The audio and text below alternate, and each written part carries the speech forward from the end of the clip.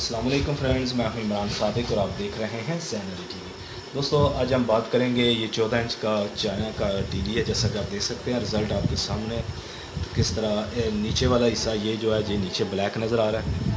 ऊपर एक लाइन आपको नज़र आ रही है। ये फॉल्ट होता है वर्टिकल एरिए में। वर्टिकल एरिए में अगर कोई कैपेसिटर ख़राब होगा तो ये फॉल्ट आएगा। ठीक है? कोई कैपेसिटर ख़राब होगा तो फिर इस तरह का फॉल्ट वर्टिकल एरिए में आता है। अगर तो पावर सप्लाई जो इसमें पावर सप्लाई अगर वीक है, कमज़ोर है तो फिर भी ये फॉल्ट आ सकता है। लेकिन ज़्यादातर फॉल्ट जो है वो ये वर्टिकल एरिए में होता है, ठीक है? तो बारह चलो इसको ओपन करते हैं ओपन करके देखते हैं कि इसमें आखिर क्या फॉल्ट है, कहाँ पे फॉल्ट है। ट्रेस करते हैं, ठीक है? तो जी, जैसा कि आप देख सकते हैं ओपन कर लिया बोर्ड ये बोर्ड है, इसका चाइना फिटिंग है। तो इसका ये रिजल्टल है ट्रांजिस्टर इसके साथ ये वर्टिकल है, ठीक है? तो जैसा कि आप देख सकते हैं, यहाँ पे इसमें इसको ब्लोर मारना चाहिए, सबसे पहले इसको साफ़ करना चाहिए। तो हम पहले फॉल्ट ट्रेस कर लेते हैं, ये कैपेसिटर है वर्टिकल एरिए के। तो जैसा कि आप देख सकते हैं, ये कैपेसिटर है, इसका 25 वोल्ट का, ये वीक है, ठीक है? ये आपको बाहर नज़र आ रहा है, ऊपर। ये कैमरा इधर नहीं नीचे करेगा ठीक है? ये नज़र आ रहा है। ये ये इसका कैपेसिटर है, पच्चीस वोल्ट का, ये चेंज करेंगे। ये चेंज करके देखते हैं कि अगर हमारा जो फॉल्ट है वो दूर हो जाता है ठीक है, नहीं तो फिर कोई और कैपेसिटर देखना पड़ेगा।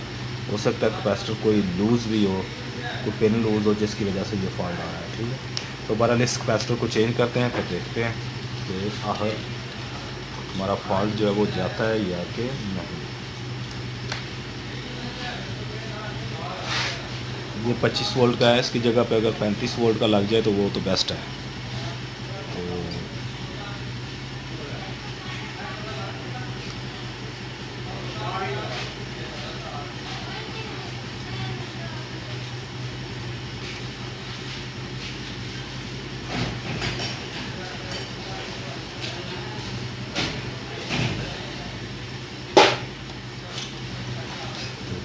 ये एक कैपेसिटर देख सकते हैं। ये ख़राब है, ठीक है? दोबारा आपको नज़र आ रहा है।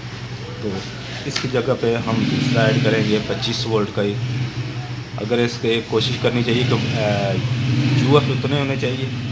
और वोल्ट जो है, अगर ज़्यादा मिल जाए, पाँच में दस वोल्ट ज़्यादा भी हो जाए तो कोई मुश्किल नहीं बस कोशिश करें कि यू एफ़ उतनी होने चाहिए जितने पहले यू एफ़ है। तो ये हज़ार पच्चीस का है।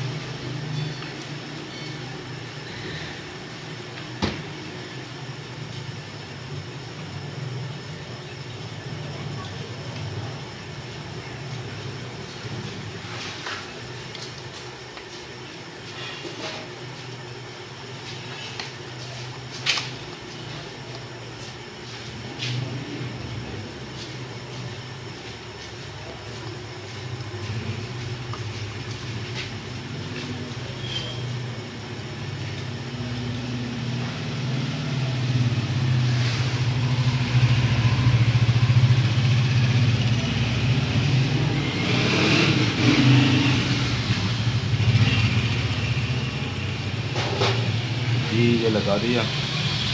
अब हम इसका तो चेक करते हैं दोबारा से, इसको पावर दे के।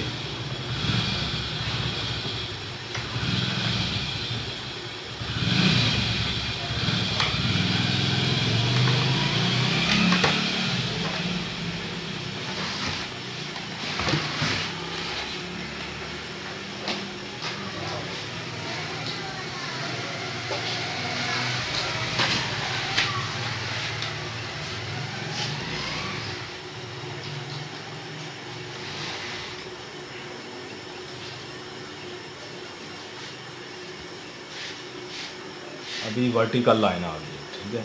इसका मतलब है कि इसमें लूजिंग भी है, जिसकी वजह से वर्टिकल लाइन जो है वो हमें शो हो रही है। तो अभी वर्टिकल लाइन आ गई आई सी बस इसका कैपेसिटर मैंने ओपन किया तो दिखे देखते हैं इसको। ये रेजिस्टेंस है। इसका पॉइंट जो है वो लूज़ था, जिसकी वजह से वर्टिकल लाइन आ गई, ये रेजिस्टेंस की। तो अब मैंने इसको पॉइंट को जो है वो कनेक्ट कर दिया। अब इसको दोबारा से पावर देते हैं। पावर दे के फिर चेक करते हैं। कि अब क्या रिज़ल्ट है? ठीक है।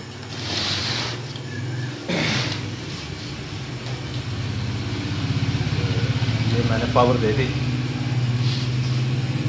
अब सेट ऑन हो गया। देख सकते हैं सेट ए ठीक है। अब इसकी पिक्चर भी चेक कर लेते हैं। साउंड भी चेक करेंगे